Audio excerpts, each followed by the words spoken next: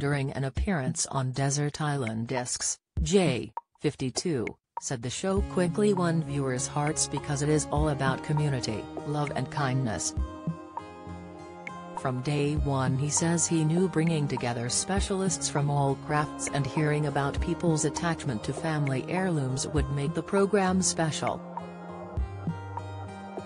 For him, the joy was seeing people who for just a few split seconds remembered every relative linked to a treasured item as they are reunited with it.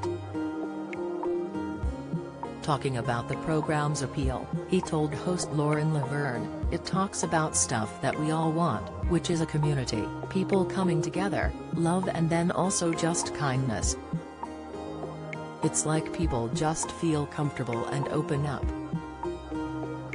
He recalled one of the first reveals being a bubbly lady who brought in a piano stool which she sat on as a child as her grandmother taught her to play. Jay said, when she came back to pick it up, what happened was she put her hand on top of the stool and that was it, she just broke down and she just cried. It was the weirdest experience because we were just having a laugh and then it was wow. I said to her what are you thinking? And she said I can feel my grandmother here. That's when I knew this was going to be special. Jay told how his father, who he refers to as the man that contributed towards my birth, was absent when he was teenager experiencing racism and violence at school, from the police and from skinheads.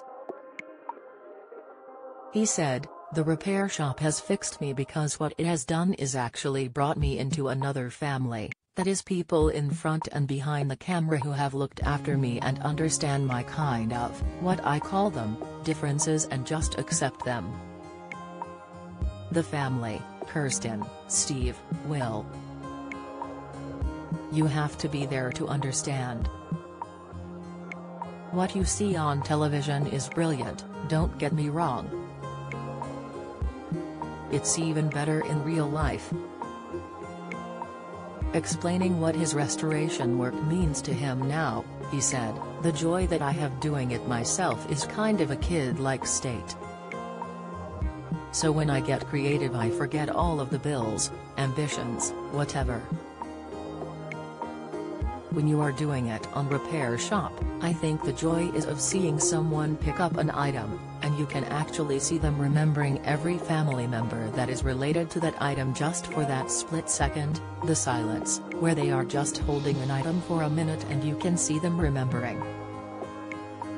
He told Laverne, 44, he was determined to make the show more diverse and a focus in the future will be on apprentices so the team can pass down over 600 years of collective skills to the next generation of craftspeople. Among the discs, he would take to a desert island where Help Me Make It Through the Night by John Holt, Revolution by Dennis Brown and Take Me to the Alley by George Porter.